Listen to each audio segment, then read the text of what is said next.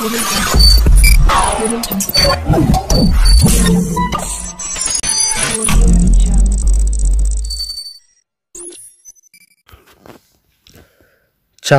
వేదాలంటే అది మత గ్రంథం అనుకుంటారు కానీ అది సైన్స్ గురించి కూడా మాట్లాడుతుంది.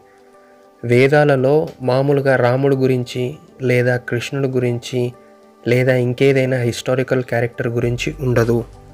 ప్రకృతి గురించి మాత్రమే ఉంటుంది. అది ఎలా పాసిబుల్ అంటే ఇప్పుడు మనం వ్యక్తుల గురించి మాట్లాడుకుంటే అది హిస్టరీ అవుతుంది. కానీ నేచర్ గురించి మాట్లాడితే డీప్గా మాట్లాడితే అది హిస్టరీ అవ్వదు. అది సైన్స్ అవుతుంది. ఇప్పుడు వేదాల్లో మనకు వినిపించే నేమ్స్ అగ్ని వాయు వరుణ ఇంద్ర సోమ సూర్య చంద్ర. అయితే ఇవన్నీ వ్యక్తుల లేక నేచరా అగ్ని అంటే ఫైర్ నిప్పు లేదా మంట ఇలాంటి మీనింగ్స్ వస్తాయి. కానీ వేదాల్లో మనం దీన్ని వ్యక్తిలా చూపించేసాం ఎందుకంటే వేదాలు మెటాఫోరికల్ ఫార్మెట్లో ఉంటాయి. మెటాఫోరిక్ అంటే డైరెక్ట్ మీనింగ్ కాకుండా పోయట్రికల్గానో లేదా ఇంకా డెప్త్గా కోడెడ్ ఫార్మెట్లో ఉండొచ్చు. ఇలాంటి మీనింగ్స్ జనరల్గా చాలామంది రైటర్స్ నేచర్ని ఒక వ్యక్తిలా చూపిస్తారు. వాళ్ళ రచనల్లో చెట్టుని ఒక వ్యక్తిలా చెట్టు మాట్లాడుతున్నట్టు ఇలాంటివి అన్నమాట. అయితే ఇలాంటి కల్చర్ ఇండియాలో ఎక్కువగా ఉంటుంది. సో వేదం నుంచి ఇంకో ఎగ్జాంపుల్ తీసుకుంటే వాయు అది ఎయిర్. కానీ దాన్ని ఒక వ్యక్తిలా చూపిస్తాము. ఇలాంటి ఇలాంటిదే సూర్యుణ్ణి సూర్యదేవునిలాగా చంద్రుణ్ణి చంద్రదేవునిలాగా వరుణ అంటే వర్షం. కానీ వర్ణ దేవునిలా ఇంద్ర అంటే మేఘాలు లేదా ఇంద్రియాలకు రిలేటెడ్గా అయిన కాన్షియస్నెస్ అవుతుంది. కానీ దీన్ని ఇంద్రుని ఇంద్రునిగా ఒక వ్యక్తిగా చూపిస్తున్నాము. అదే కాదు గంగా అంటే రివర్ కానీ ఇండియాలో దాన్ని గంగాదేవి అని ఒక స్త్రీలా పిలుస్తారు. భూమి అంటే ఎర్త్ కానీ దాన్ని భూదేవి అని పిలుస్తారు ఇక్కడ. అయితే ఇవన్నీ నేచర్ అని క్లియర్గా చాలా క్లియర్గా అర్థమవుతుంది. కానీ వీటిని వ్యక్తులలాగా చూడటం వల్ల మనకు సైన్స్ కనబడదు. బట్ నిజానికి ఇప్పుడు పైన చెప్పినవి నేచర్ నేమ్స్ మాత్రమే. వ్యక్తుల గురించి మాత్రం అస్సలు కాదు. అయితే శివుడు విష్ణు బ్రహ్మ వీళ్ళ గురించి కూడా వేదంలో ఉంది. మరి వీళ్ళు వ్యక్తుల లేక నేచరా? ఒకవేళ వ్యక్తులైతే సైన్స్ గురించి ఉండే ఛాన్స్ లేదు. కానీ మనం సాంస్క్రిట్లో ఒక పదాన్ని డీకోడ్ చేయాలి అంటే దాని రూట్ సౌండ్కైనా లేదా దాని మీనింగ్ గురించి డీప్గా తెలుసుకోవాలి. అయితే సాంస్క్రిట్లో వర్డ్స్ మ్యాక్సిమం అవి నౌన్స్ గురించి కంటే నామవచనం గురించి ఉండదు. అది మ్యాక్సిమం అడ్జెక్టివ్ అంటే గుణవచనం గురించి మాత్రమే ఉంటుంది. అంటే ప్రతి వర్డ్ నౌన్లా కాకుండా దానికి ప్రాపర్టీస్ ఉంటాయి. ప్రతిదానికి ఎట్లీస్ట్ అట్లీస్ట్ ఒక ట్వంటీ సెవెన్ మీనింగ్స్ అయినా ఉంటాయి. ఇప్పుడు విష్ణు అనే వర్డ్ దగ్గరికి వెళ్తే ఆ వర్డ్ ఎక్కడెక్కడ యూజ్ చేశారో చూద్దాం. విష్ణు అంటే ధర్మాన్ని రక్షించడం కోసం వచ్చే అవతారమని. నేచర్ కాపాడడం కోసం వచ్చే ఒక వ్యక్తిలా చూస్తున్నాం.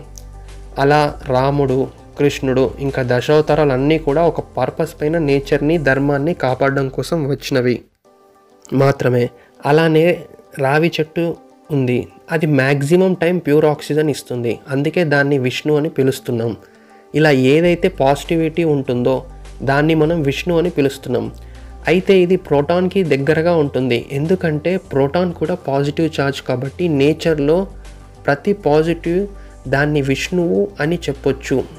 ఇప్పుడు నెక్స్ట్ శివుడు అంటే నిర్గుణం నిరాకారం. అంటే ఆ గుణం ఏ గుణం కూడా లేదు అని అర్థం. ఏ గుణం అది మంచి కాదు అది చెడు కాదు. ఏ గుణం కూడా సంబంధం లేనిదన్నమాట. దాని అర్థం నిర్గుణం. అంటే పాజిటివ్ కాదు నెగిటివ్ కాదు న్యూట్రల్ అన్నమాట. అయితే యాటమ్స్లో న్యూట్రాన్కి ప్లస్ మైనస్ అసలు ఏ ఛార్జ్ అనేది ఉండదు.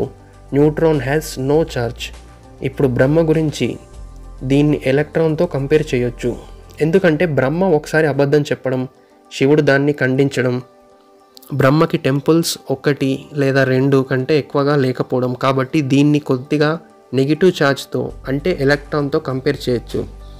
అయితే ఈ electron proton neutron properties Brahma Vishnu శివుడికి మ్యాచ్ అవుతున్నాయి. సో ఇక్కడ వీళ్ళని నేచర్గా యాటమ్స్గా చూసినప్పుడు మనకు అక్కడ ఉన్న ట్రూ మీనింగ్స్ బయటకు వస్తాయి. నేను ఒక ఎగ్జాంపుల్ ఇస్తాను. జనరల్గా కుజగ్రహంని మార్స్ అని అంటాము. భూమిని భూదేవి అని అంటాము. అయితే భూమి పుత్రుడు కుజుడు అని అంటాము. అయితే దీంట్లో సైన్స్ ఏముంది అని మనం చెప్పచ్చు. కానీ ఒకసారి దీన్ని వ్యక్తిలా కాకుండా రియల్ మీనింగ్స్తో చూడండి. ఇలా చూస్తే భూమి అంటే ఎర్త్ అండ్ కుజుడు కుజగ్రహం అంటే మార్స్. సో మోడర్న్ సైన్స్ ఇప్పుడు ఏం చెప్తుందంటే ఎర్త్ తర్వాత మనకు మార్స్లో ఉండటానికి ఫ్యూచర్లో ఛాన్సెస్ ఎక్కువగా ఉన్నాయి. ఎందుకంటే అది భూమికి సిమిలర్గా ఉంటుంది అని. అయితే ఇది మన కల్చర్లో ఎలా ఉండేది? సేమ్ టాపిక్ ఎలా ఉండేదంటే భూమి పుత్రుడు కుజుడు అన్నాము. అంటే భూమికి కుజుడికి సంబంధం ఉండదా? భూమి పుత్రుడు అంటే ఖచ్చితంగా భూమి పోలికలతో ఉంటుంది కదా. అందుకే మార్స్కి ఎర్త్కి సిమిలారిటీస్ ఉన్నాయని ఇప్పుడు మోడర్న్ సైన్స్ చెప్తుంది. మనం మార్స్ అనేది ఎర్త్ యొక్క సన్ అని మనం ఎప్పుడో చెప్పేశాం. ఇప్పుడు అర్థమైందా? సైన్స్ని వేదం నుంచి ఎలా డీకోడ్ చేయాలో? దీన్ని వ్యక్తులలా కాకుండా నేచర్లా చూస్తే తప్పకుండా మీకు రియల్ మీనింగ్స్తో సైన్స్ అనేది క్లియర్గా అర్థమవుతుంది. ఫైనల్గా ఇంకో ఎగ్జాంపుల్ ఇస్తాను. యూరోప్లో సెన్ అనే అతిపెద్ద న్యూక్లియర్ రీసెర్చ్ సెంటర్. వీళ్ళు కూడా తమిళనాడులో చిదంబరం టెంపుల్లో నటరాజస్వామి విగ్రహం మోడల్ స్టాచ్యూని పెట్టుకున్నారు. అయితే ఇది ఇండియా నుంచి గిఫ్ట్గా వెళ్ళింది. దీన్ని సెర్న్ అనే న్యూక్లియర్ రీసెర్చ్ సెంటర్లో పెట్టుకోవాల్సిన అవసరం ఏంటి? దీనికి ఫ్రిడ్జాబ్ క్యాప్రా అనే Tao of physics book author.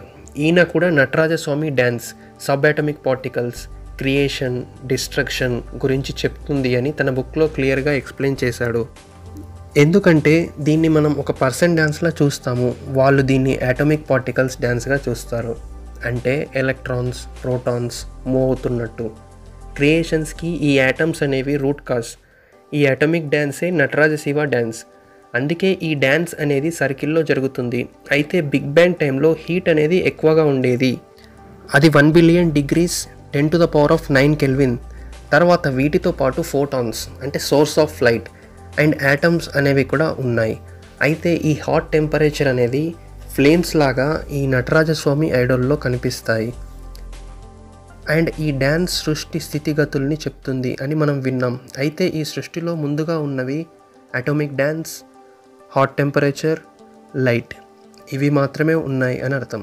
వీటి నుంచే మొత్తం క్రియేషన్ అనేది వచ్చింది అనేది సైన్స్ కూడా గట్టిగా చెప్తుంది.